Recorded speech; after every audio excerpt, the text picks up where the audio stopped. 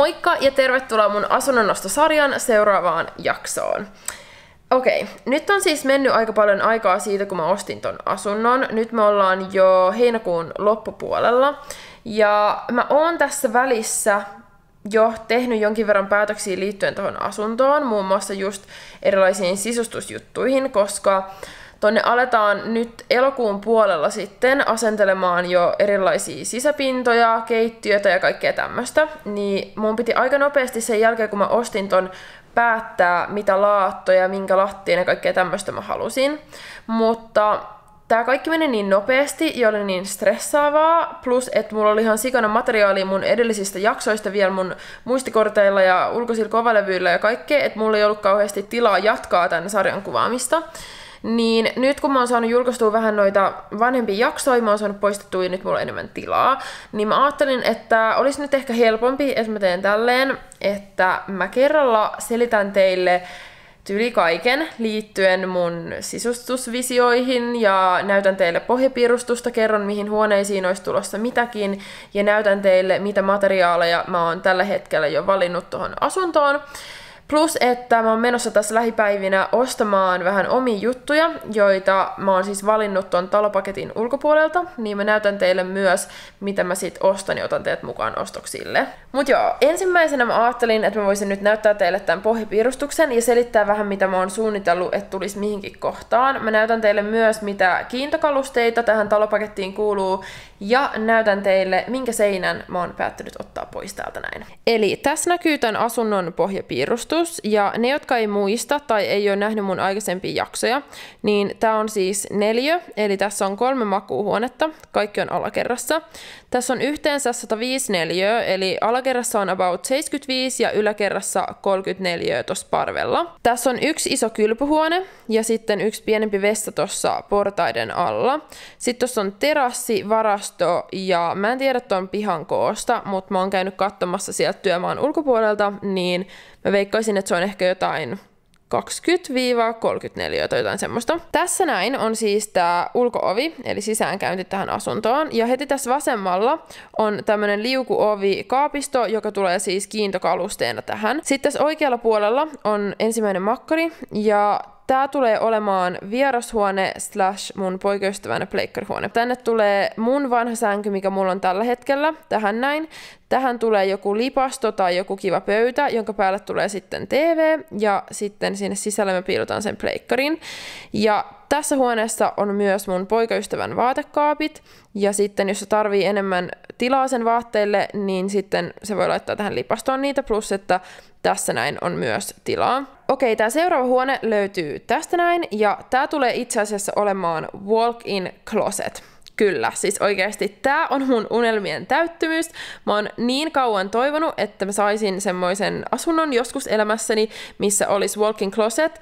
Ja tähän huoneeseen tulee luultavasti myös mulle joku meikkipöytä, niin että mä voin laittautua täällä aamulla. Ja tää tulee myös toimii jonkin verran kuvaushuoneena, että tää on vähän niinku semmonen studio sitten. Sitten kun mennään tänne vasemmalle päin, niin tästä löytyy tää kylppäri. Ja tähän näin tulee siivouskaappi, tähän tulee pesu pesukone, sen päälle tulee toinen kaappi, tässä on sitten allas, tähän tulee pyöreä peili, WC, suihku ja sauna. Okei, sitten mennään tänne näin. Ja täältä tosiaan löytyy tää toinen vessa. Tää on tosi pieni. Tänne mä en tehnyt mitään muutoksia. Tänne tulee samat kaakelit, mitkä kuuluu tuohon talopakettiin, koska mä ajattelin, että siinä ei ole mitään järkeä alkaa laittaa rahaa johonkin näin pieneen turhaan tilaan. Mutta toinen asia, johon mä tein muutoksen, oli se, että tässä olisi alun perin ollut jääkaappi ja pakastin ja yksi tämmönen keittiötaso juttu niin mä halusin ottaa koko tämän väliseinän tästä mieluummin pois ja tehdä tästä keittiösaarekkeen, jotta tästä tulisi avonaisempi tästä tilasta. Olkkarissa ei ole mitään sen kummempaa. Tähän tulee varmaan jotenkin tälleen näin sohvaa, joku pöytä, TV tulee tänne ja bla bla bla bla. Tässä on iso ikkuna. Tässä olkkarissa on kaksi ikkunaa päällekkäin ja tästä mennään sitten tonne terassille. Ja tässä on siis kolmas makkari, joka tulee olemaan mun ja mun poikaystävän makkari. Mä unohdin muuten sanoa, että tästä huoneesta mä oon kokonaan ottanut pois nämä kiintokalustekaapistot ja mä oon myös ottanut ne pois tästä huoneesta, koska mä haluan mieluummin laittaa mun sängyn tähän keskelle näin, jotta molemmille puolille tulee yöpöytä, niin että me nähdään ulos tuosta ikkunasta. Okei, sitten parvi, siinä ei ole mitään kauhean kummallista. Tämä on siis 34 ja tämä on kokonaan vaan tyhjää tilaa. Parven korkeus on 2 metriä, eli mä en saa sinne ihan niin kuin standardikorkuisia kalusteita. Esimerkiksi kun mä katoin alun perin, että mä olisin laittanut tänne walk-in closetin, niin kaikki kaapit oli jotain yli 2 metriä, joten se ei olisi onnistunut. Mutta tänne tulee siis mun toimisto tai työhuone, eli täällä mä en tule ehkä kuvaa niin paljon mitään videoita, koska se tulisi kaikuu, kun tässä on niin kuin avonainen tää, että tässä on vaan kaide. Mutta tänne tulee siis mun työpöytä, mä pidän täällä kaikki mun elektroniikkajuttuja, mä pidän rekin, missä on kaikki vaatteet ja muita hommeleita, mitä pitää kuvata ja niin edelleen. Ja Tämä on nyt siisteintä, ja mä en voi oikeasti uskoa, että mä sanon tän ääneen, mutta puolet tästä tilasta tulee olemaan leffateatteri. What? Eli, koska tässä parvella on niin paljon tilaa, mitä mä en tuu tarviimaan, niin mun poikaystävä heitti läpällä, ettei sinne leffateatteri. Ja kun mä aloin miettimään tätä asiaa, niin se ei kuulostanut mun mielestä sittenkään niin tyhmältä idealta, koska leffatykit ja valkokangas ei ole loppujen lopuksi mitenkään niin kalliita, koska mä ajattelin, että ne maksaisi varmaan jotain niin kuin yli 5000 euroa yhteensä. Ja mulla on jo tää ikään sohva, jota mä en tuu käyttää täällä Olkkarissa, niin mä ajattelin, että mä laitan sen tänne ylös ja ostan tähän vaan lisäosia sitten, jotta mä saan tästä isomman, niin sit mä saan tehtyä tuonne yläkertaan ihan super kivan leffatilan. Huhhuh, okei. Okay. Ootteko te edelleen messissä? Nyt seuraavaksi mä ajattelin, että mä voisin näyttää teille mun Pinterest-boardin, johon mä oon tallentanut aika paljon erilaisia inspokuvia, josta te näette, minkä tyylisen sisustuksen mä haluaisin, ja myös vähän materiaaleja, joita mä haluaisin. Kylppäriin mulle on tulossa lattialle tämmöistä valkoista heksagon laattaa, johon tulee valkoinen saumajuttu, ja se laatta tulee olemaan vähän isompi, että se tulee olemaan about tämän laatan kokonen. Sitten äh, mulle tulee 60 kertaa 60 marmorilaatta seinälle, eli mä en tiedä, jos te näette, mutta se on about tämän näköinen. Ja sitten mulla tulee kans niin tässä kuvassa kultainen suihku ja tämmönen musta suihkuseinä, jossa on tämmöisiä jutskeleita. Sitten mulla tulee kans tämmönen pyöreä peili, jossa on valo ympärillä. Tähän tulee valkoinen tämmönen samanlainen taso. Sitten tässä alla on muutama kaappi, niin nekin on tämmöistä perusvalkoista kiiltävää materiaalia. Ja mä tuun itse asiassa itse hankkimaan tämän altaan sitten, koska keittiön maailmalla ei ollut semmoista, mitä mä halusin. Mä tuun itse myös hankkimaan ton hanan, siitä tulee kultainen. Mä tuun myös itse erikseen hankkimaan tosiaan ton suihkuseinän sekä ton suihkun. Kylppäristä ei ehkä ole mitään muuta mainittavaa nyt. Mulla on niin paljon inspokuvia mistään niin kuin olkkarista tai muista tiloista, mutta tässä näkyy about tämä tyyli, mitä mä haluaisin. Et mä en halua, että mun seinät on kokonaan valkoiset, vaan mä haluan, että niissä on jotain väriä, joko harmaata tai beessiä. Ja sitten mä haluaisin kans tehdä sinne tämmöiset koristelistat kattoon. Sitten tässä on vähän inspokuvia walk-in closetista, mutta mä en tule todellakaan saamaan näin hienoa walk-in closettia, koska ne on kaikki niin kuin rakennettu mittatilaustyönä ja se maksaa varmaan jotain kymppitonnin, niin mä en tule kyllä laittaa semmoista rahaa siihen. Mutta Tämä on ehkä enemmän sen tyylinen, mitä mulle tulee. Tämä näyttää ainakin siltä, että olisi tilattu Ikeasta. Ja sitten vielä keittiö. Keittiön mä oon tosiaan nyt tilannut, eli mulle tulee about tämän näköinen keittiö. Mun kaapit tulee olemaan harmaita, missä menee tämmönen reuna näin. Ja mun kaikki vetimet tulee myös olemaan kultaisia, mutta mulla ei tule ollenkaan nuppeja, mulla on pelkästään niin kuin suoria vetimiä, jotka on vähän lyhyempiä kuin noi. Mulle tulee kans marmori tää taso sekä välilevy. Ja mä tuun itse asiassa itse hankkiin tähän keittiöön ö, altaan sekä hanan, koska mun mielestä tuohon talopakettiin ei kuulunut niin kivoja. No niin, mä toivon, että saitte nyt jonkin sortin käsityksen siitä, millainen toi asunto tulee olemaan. Ja mä ajattelin, että mä kuvaisin teille ensi kerralla sit, kun mä menen ostaa näitä juttuja, joita mä halusin hankkia ton talopaketin ulkopuolelta.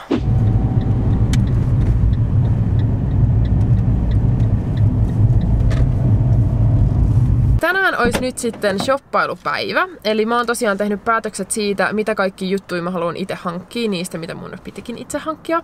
Ja mä tuun ostaa suurimman osan netraudasta, koska niillä sattui nyt olee joku tämmönen alekampanja, että niiden tuotteissa oli tyyli jotain miinus 30 prossaa heinäkuun loppuun asti, mikä on ihan super hyvä, koska kun mä ostan tämmöisiä isompia hankintoja, jotka on suht hintavia, niin 30 prossan alennus on ihan super iso summa. Niin mä tuun tosiaan, nyt menee ensin tänne näin, me ajettiin just tähän pihaan. Ja sen jälkeen mä tuun vielä menee Ikeaan, koska mun pitää hankkia sieltä erikseen sitten keittiön allas sekä hana.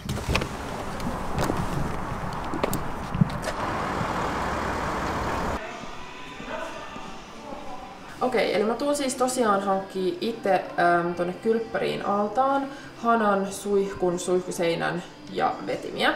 Ja tässä näkyy nyt ensimmäisenä tää hana, minkä mä tuun ostaa. Eli tää on Batlifein hana.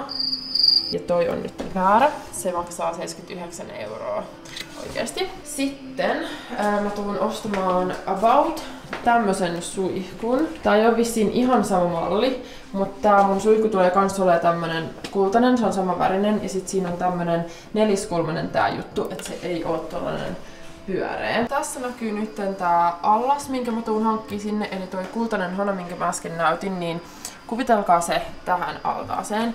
Tää allas tullaan siis upottaa siihen tasoon, minkä mä oon valinnut sinne, eli se tulee näyttää ennemminkin täältä näin. Että tosiaan se taso ei ole noin pieni, vaan se on tälleen niinku pidempi ja sit siihen tulee toi allas erikseen. Okei, sitten tässä näin te näettekin mun unelmien suihkuseinän. Tää on nyt isompi kuin se, mikä mulle tulee, koska mulle tulee pelkästään niin tää yksi osa tästä näin. Että tää osa ei myöskään tule niin. Kuvitelkaa tosta noin poikki ja sit näin.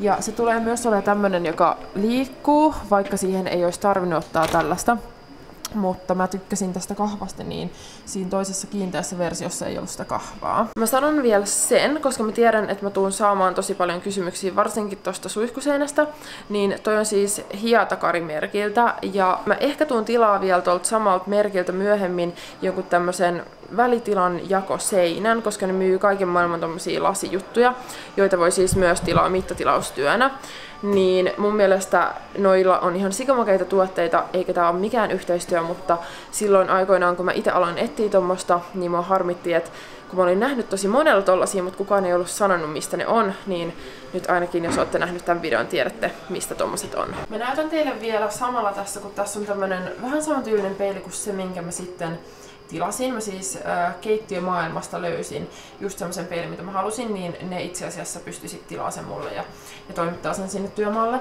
Mutta se tulee olemaan about saman tyylinen kuin tää ja saman kokoinen kuin tää. Mutta siinä on ihan supersiistiä se, että tässä kohtaa on semmoinen kosketusnäyttö, mistä pystyy säätämään tämän valon lämpöisyyttä sekä kirkkautta. Okei, mä näytän teille nyt vielä, koska tässä Netraudan vieressä on toi talon.com. Ja mä tuun siis itse tilaamaan keittiöön ton työtason, mutta mä en ole vielä ihan päättänyt, että otaks mä tämmösen laminaatin vai otaks mä semmosen, joka olisi sit oikeeta kiveä. Niin jos mä otan semmoisen, joka on laminaatti, niin sit mä tuun ottamaan tän. Tää on mun mielestä ihan superhieno, eikä tästä yhtään näe, eikä tää kauheasti edes tunnu laminaatilta. Ja mun mielestä tää maksaa jotain 50 tai 60 euroa per metri. Sitten, niin mä löysin netistä äh, kivat vetimet täältä talon.comista, joka siis on tyyli sama yhtiö Netraudan kanssa, että voi tilata silleen molemmista liikkeistä samaan aikaan.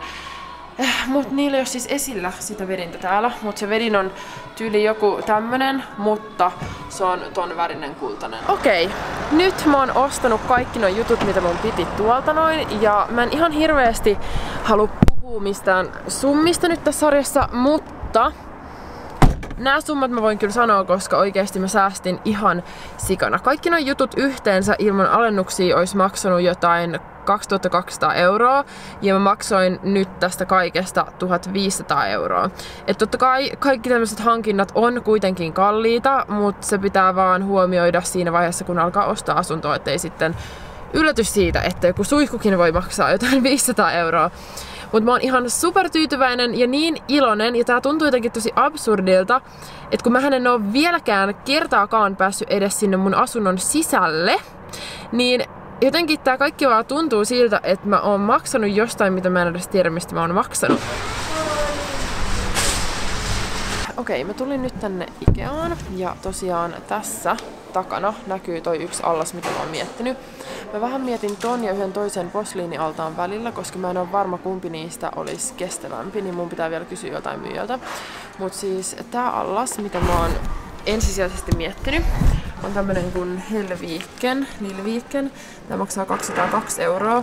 Ja tää oli vissiin silleen, että tässä oli joku muovi ja olisiko ollut kvartsisekoitus niin vaikka tämä ehkä näyttää tälleen muoviselta, mäkin luulin aluksi, että tämä on muovi, niin tämä on jotain kiveä. Ja tässä on tämä toinen vaihtoehto, tämä on siis posliini. Tämä on tämmönen kuin Haavsen Lilviikken, 152 euroa. Ja mä en tykkää tästä yhtä paljon, koska tässä on tämmöiset pyöreät reunat, että mun mielestä toi toinen on hienompi. Mutta jos tää olisi kestävämpi, niin sit mä ottaisin mieluummin tän. Mut sit mä näytän vielä tän haran, mitä mä olin miettinyt. Eli tää on oikeasti tosi iso suositus. Ikasta löytyy ihan superhieno tämmönen kultainen hana, ja tää maksaa vain 99 euroa. Et monessa muussa paikassa mä oon nähnyt, että tämmöiset hanat voi maksaa tyyli 500 euroa, joten ehdottomasti hankin tän 99 euroa maksavan mieluummin. Okei, okay, mä itse asiassa näytän teille nyt samalla, kun me satuttiin kävelee tämmöisen walk-in closet-yhdistelmän ohi tässä näin. Mä tosiaan en tuu nyt ostamaan mitään näitä. Mä pystyn sit vasta tilaa näitä, kun mä pääsen sinne huoneeseen mittaamaan. Mutta mä tuun luultavasti tilaa täältä Ikeasta jonkun tämän tyylisen walk-in closet-systeemin. Et mä tykkään siitä, että Mä en tiedä itse asiassa mikä tämän niinku kaapiston nimi on. Katsotaan lukisiko tossa. Mä luulen, että tää on tää Pax niin niillä on tosi paljon eri vaihtoehtoja, että saa kaikki tämmöisiä lasiovia, sitten saa erilaisia jotain vetolaatikoita ja esim. jos haluaa jotain koru, hyllyköitä ja semmoista. Niin, niin tosta näette, tossa on tämmöisiä lasijuttuja, tässä on tämmöisiä korujuttuja. Tässä on vaan näitä pohjaventtiileitä. Niin, mun piti ottaa pohjaventtiili. Ja sitten mun piti myös ottaa se on kultainen. Mm. Wow, kuinka hieno. Siis mä tajun myöskään, miten tää voi näyttää näin isolta. Ei sitä oo mitään muita kokoja.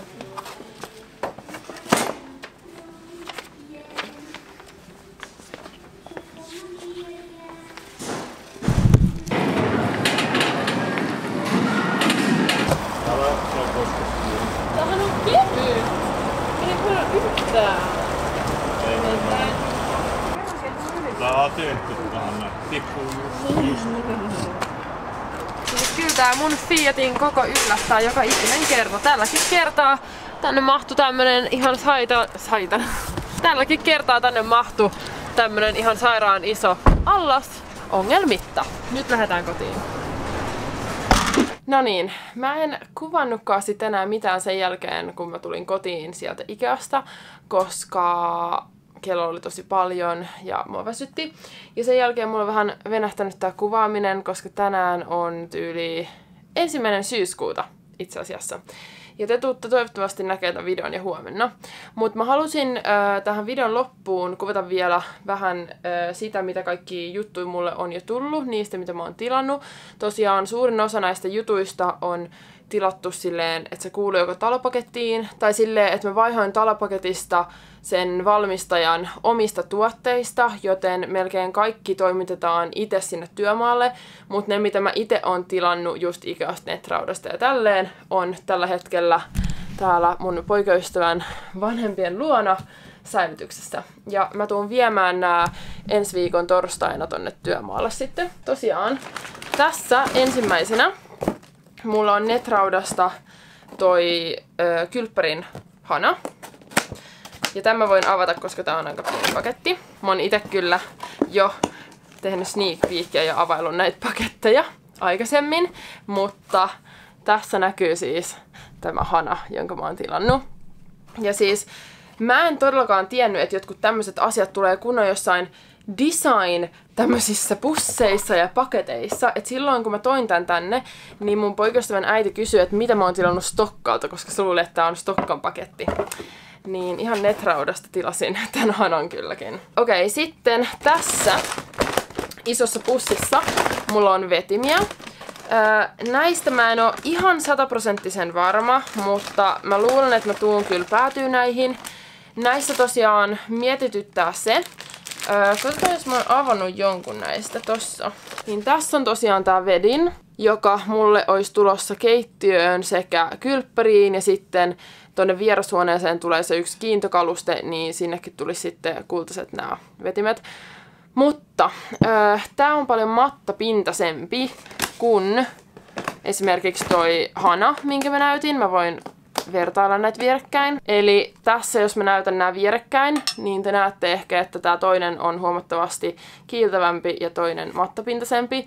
Niin mä en ole varma häiritseekö tämä mua, mutta sitten toisaalta niin Tämmöiseen jää tosi helposti kaikki sormenjäljet ja naarmut, joten ehkä se on ihan fiksu, että vetimet olisi vähän mattapintaisemmat, jotta sitten ne ehkä pysyisi kivemman näköisenä pidempään.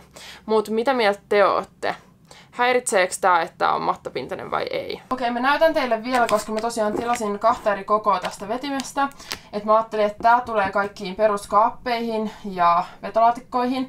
Mutta sitten mulla on kaksi tämmöistä pidempää, jotka tulisi tälleen pystysuunnassa just jääkaappi ja pakastin yhdistelmään näin.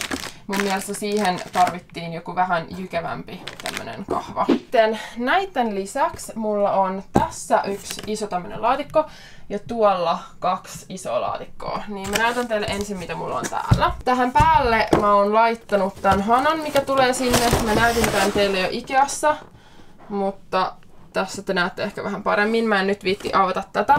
Mä oon teipannut tähän erikseen, kun tähän tulee joku tämmönen, en tiedä onko toi pohjaventtiili vai mikä tän nimi on. Ja sitten täältä löytyy tosiaan tää allas. Mutta tää on tosi raskas, niin mä en nytten viitti alkaa nostamaan sitä. Mutta on siis ihan saman värinen tuolta sisältä kuin miltä se on tästä ulkopuolelta, että tää on tää perus. Minkä mä myös itse asiassa teille aikaisemmin. Okei, mä kannan just tuolta pois tän toisen näistä isoista laatikoista, koska tämä voin kans näyttää teille. Ja tää on tosiaan sama merkki kuin mistä mä tilasin ton hanan, mutta täältä löytyy tää suihku, jonka mä tilasin. Tää suihku on aika monessa eri osassa, joten mä en nyt viitti alkaa kaikkia tässä avaamaan, mutta mä voin vaikka avata tän. Eli tässä on tää suihkun pää, niin se on vähän isompi kuin mun kämmen. Ja tää vaikuttaa mun mielestä tosi kivalta. No niin, tätä vikaa mä en pysty avaamaan, koska täällä on myös tommonen tosi raskas allas ja mä oon just teipannut tän tosi tarkasti kiinni, jotta mä saan tämän kuljetettua sinne työmaalle sitten ehinä. Joten tässä oli kaikki jutut, mitä mä tällä kertaa pystyin näyttää teille.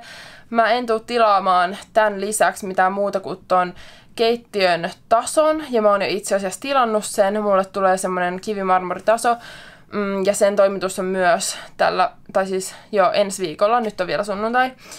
Niin sit mulla pitäisi olla ihan kaikki siellä valmiina asennusta varten. Joten mä ajattelin, että mä en tähän videoon sen enempää höpöttele teille näistä sisustusjutuista, vaan seuraavan kerran, kun mä voin sitten kuvata teille enemmän liittyen näihin, on sitten kun mä pääsen muuttaa sinne ja pääsen ostaa ihan niin kuin kalusteita ja tommosta. Mutta ennen kuin mä lopetan tämän videon vielä, niin mä halusin nopeasti muistuttaa teitä vielä siitä, että mun presetit on koko tämän seuraavan viikon alennuksessa miinus 17 prossaa. Niiden OVH on 29,99, niin nyt ne on 24,99. Ja mun kaikki presetit on siis alennuksessa. Jos et vielä tiedä mikä presetti on, niin se on siis tämmönen kuvafiltteri. Eli mulla on siis kolme eri pakettia, joissa on noin 10-11 presettiä. Ja nämä toimii Lightroomin ilmaisessa mobiiliäpissä. Yhdellä klikkauksella saa siis kuvaan semmoisen ihanan filterin. Mutta näistä löytyy tosi paljon lisätietoa tuolta mun omilta nettisivuilta www.lindaekrut.com ja mä pistän kaikki linkit tonne alas. Jos te haluatte myös kokeilla teidän kuviin noita presetteja, niin voitte lähettää mulle at presets by Linda Instaan muutaman kuvan, niin mä voin sitten testata niitä. Mitä? Ai se oli Leo! Kiva, kun mä yritän kuvaa tässä, sitten mä mietin, että miksi mun poikaystävä tulee tänne tolleen, että se narrustaa ovea, mutta se olikin mun poikaystävän perheen kissa. Miu! Leo! Oliko sulla vielä jotain asiaa? Joo. Oliko ne mun priistit alennuksessa?